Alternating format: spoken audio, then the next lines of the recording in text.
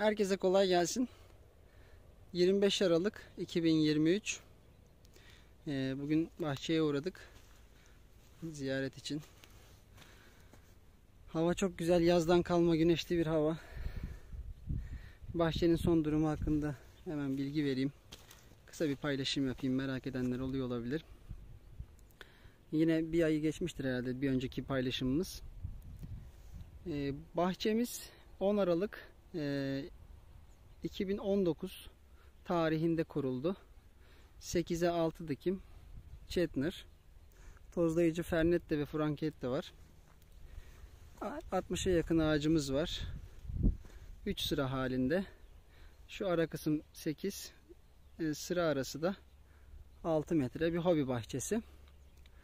Artık soğukların etkisiyle e, ağaçlarımız yapraklarını döktü ve uyku halindeler.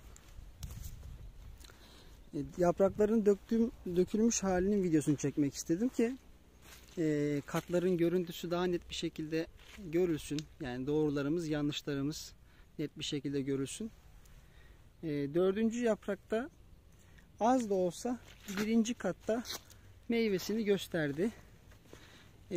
Biz meyve almak için bir çaba sarf etmedik fakat birinci katı e, iki defa budadığımız için e, gelişimini arttırdık. Beslemeyle de, de takviyeledik. Ve meyve gözü bitkinin de yaşı itibariyle meyve gözü oluşumu gerçekleşti. E, 8-9 kilo kadar kuru kabuklu e, ürün elde ettik. 4 yaş olduğu için ürünlerin kalibreleri yüksek. iş dolgunluğu da iyi durumdaydı. Çünkü ağaçta meyve sayısı az olduğu için hem dolaşayım hem anlatayım. Meyve sayısı az olduğu için ağaç meyveleri daha kolay doldurabilmiş. İlk katımız tamamıyla oluştu. Arada boşluğumuz var. Daha sonra ikinci katımız şeklinde ilerleyecek. Burada e, klasik e, budamalı sistemle yetiştiricilik yapmaya çalışıyorum ben. Şu an içinde bahçemde bunu uygun görüyorum. Ee, takip edenler şunu söyleyebilir. Zaten güzel bakıyorsun. İşte keşke budamasan ee, ve yakın bir zamanda meyve alsan. Yani şimdi yani istekler e, bu şekilde oluyor olabilir ama bir de hayatın gerçekleri var. Ee, doğru şartlarda doğru bakımları yapmadığımız sürece her ne kadar budasak bile iyi sonuç elde edemeyebiliriz. Ki çoğu üretici doğru şartlarda doğru bakımları, sulamayı, beslemeyi zaten yapmıyor. Ee, ben bunu riske atmak istemediğim için dikimden itibaren budayarak yola devam etmeye tercih ettim. Ee, taç yüksekliğimiz 160-170 santim civarında. Kimine göre yüksek gelebilir. Ben bunu uygun gördüm. Genel geçer bilgi var tabii ki. Ee, işte bal petekte meyve etekte olur gibi. Bunlar güzel, hoş şeyler de e, hangi bahçede, hangi iklimde, hangi çeşitte, hangi toprak yapısında, hangi bakım koşullarında yani ve hangi e, ne derler, e, hangi kültürel işlemlerde yani genel geçer bilgileri herkes söyler ama siz kendi bahçenizi baz almanız ve kendi planınızı, programınızı baz almanız gerekir. Yani tek bir doğru yapıp diğerlerini e, büyük çoğunlukta yanlış yapmak e, sizi kurtarmaz. E, doğru sayısını olabildiğince arttırıp bahçenin gelişimini de olabildiğince yukarı çıkarmak çıkarmaya çalışmak zorundayız. Benim prensibim bu. E, arada yanlış yaptıklarımız da vardır. Oluyordur elbet ama çoğunluk doğru uygulamalar yapmaya çalışıyoruz ki 4 yaşta bu gelişime sahip edebilmişiz. Tabii ki bu e, bu bahçenin sürekli içinde bulunmayla alakalı bir durum. E, ve bakımını e, dikkatlice yapabilmek gerekiyor. Her ne kadar hobi bahçesi de olsa. Yani kabaca belki ilk defa izleyenler için söyleyeyim. Bahçede sezonda 30 sulama yaklaşık 20 de yaprak uygulaması var. E, 30 sulamanın yaklaşık 15 18 tanesi e, gübreli sulama olabilir. Bir dolu bir boş şeklinde. Yani ağaca hiçbir şekilde vegetatif gelişimi esnasında bir besin elementi eksikliği yaşatmadan e, gelişimini arttırmaya çalışıyoruz. Peki bu sene e, ne yapacağız? Yine bu bahsettiğimiz bakım koşullarını e, eksiksiz yerine getirmeye çalışacağız. E, yine budamayı da peyderpey alt katlarda azaltmak şartıyla yukarıya doğru ilerleyeceğiz. Neden alt katlarda azaltacağız? E, çünkü artık biz yavaş yavaş altlarda meyve bekler e, hale geleceğiz ki e, hem meyve gözlerini ellemeyelim hem de artık e, ağır budamalarla bitkiyi oduna yöneltmeyelim.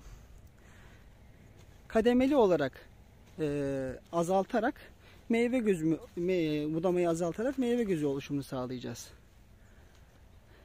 Şöyle katları arası evet, bitkinin iç içini biraz açmaya çalıştık. E, orta kısımda bir boşluk. Daha sonra ikinci kat seneye de e, üçüncü kat veya ikinci, üçüncü katın bir öncesi dönem.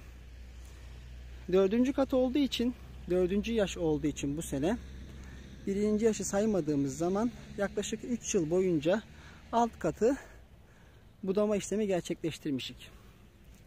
Ha, dördüncü yaşta e, yıl kayıpsız gelmemize rağmen katlar arasında yıl kaybı var diyebiliriz.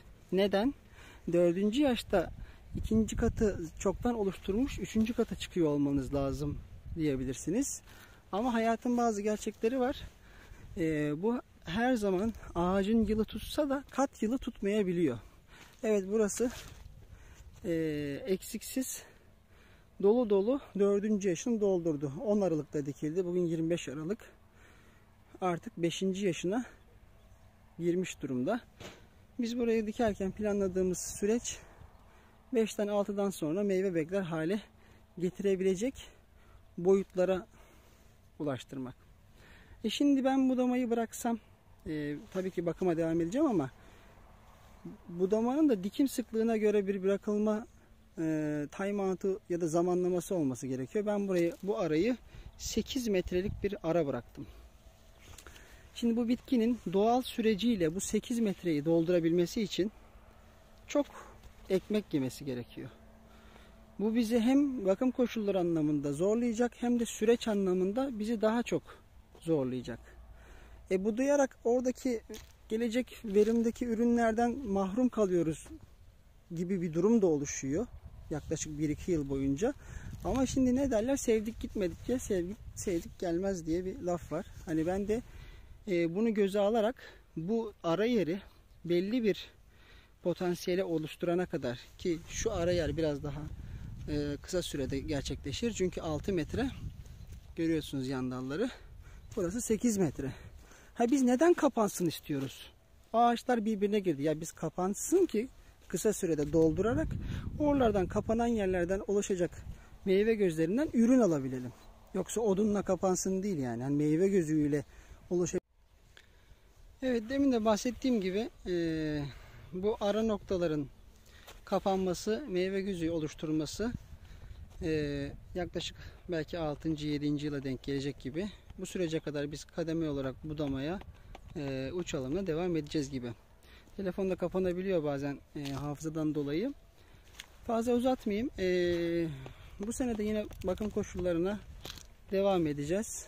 E, eksiksiz sulamasına, gübrelemesine, ilaçlamasına e, ve toprak işlemesine. Yani toprak artık işlemiyoruz gerçi. Biz arada bahçe yapıyoruz sadece kendimiz. E, sırt oluşumuna, sırtın ya da e, ilaçlanmasına gibi. E, video uz, uzasın istemiyorum ama sizden e, size şöyle bir şey söyleyeyim. Artık fidanların ekildiği bir dönemdeyiz. Yani yaklaşık bir önceden beri fidan dikiliyor, bahçe oluşturuluyor. Fidan dikimine e, çok dikkat etmek gerekiyor. Çünkü fidan ne kadar düzgün e, koşullarda, düzgün şartlarda dikim gerçekleştirirsek e, bahçenin e, ilk gelişim evresi o denli iyi oluyor. Bu yüzden bu videonun altına e, fidan dikimi nasıl yapılır, hangi koşullarda yapılır e, adlı e, videomu paylaşacağım. Yani linkini atacağım ki fidan dikerken nelere dikkat edeceğiz. Çünkü çamurda fidan dikersek fidanın tutmama olasılığı çok yüksek oluyor. E, toprağı neye göre e, ayarlayacağız? Hangi şey uygulamaları yapacağız? Bunlara dikkat etmek gerekiyor. Video kapanmadan e, videoyu sonlandırayım. Bu konuda bir tane uzun bir video yapabiliriz. E, özellikle yapabiliyorsanız küçük bahçelerde ya da e, daha iyi bahçelerde sırt ya da hafif bir tümsek yapabilirsiniz ki e, ilk seneki gelişim, kök gelişimi biraz daha iyi durumda olsun. Yani bizi 1-0 öne geçiren şey bu bahçede e, uygun koşullarda dikim yapmak ve sırt tümsek oluşturmak. E, bu geçirgen e, toprak sayesinde fidanın kökleri 1-2 sene e, geniş ve bol bir alan bulabildi kendine ve e, gelişimi iyi olabildi. E, kepçeyle kazdırıldı. Daha sonra e, çukurlar açıldı. Elle kapatıldıktan sonra e, bu çukurlara leonardit hayvan gübresi ve dere kumu getirdik ve aynı zamanda çukurun kendi toprağıyla beraber bir e, fidan çukuru hazırladık ki fidanı bu bölgeye diktik. Köklerini kendi toprağa sıkmasın diye e, gerekli kök dezenfektasyonu ve e, kök budaması tuvaleti de yapılmak şartıyla. E, hepsi bir süreç tek başına e, bir şey ifade etmiyor. Hepsini doğru yapmak e, iyi bir sonuca ulaşmak için önemli. Diyeceklerim bu kadar. Herkese hayırlı bereketli sezonlar diliyorum. E, tekrardan görüşmek üzere. Kendinize iyi bakın.